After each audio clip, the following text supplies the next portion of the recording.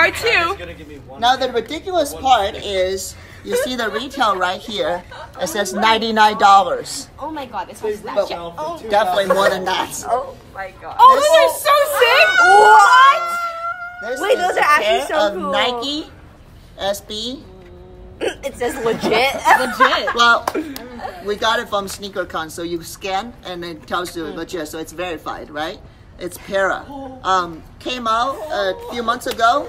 Super hard to get, but what I really like is it's embroidered right here, Nike swoosh, and then a multiple color, and it's like a fuzzy Nike uh, swoosh here, uh, just like a typical uh, skateboard shoes and very cushioned here. Um, can't wait to wear them. Abi, are you Yes. gonna drop your YouTube channel real quick? No. Okay. like, subscribe.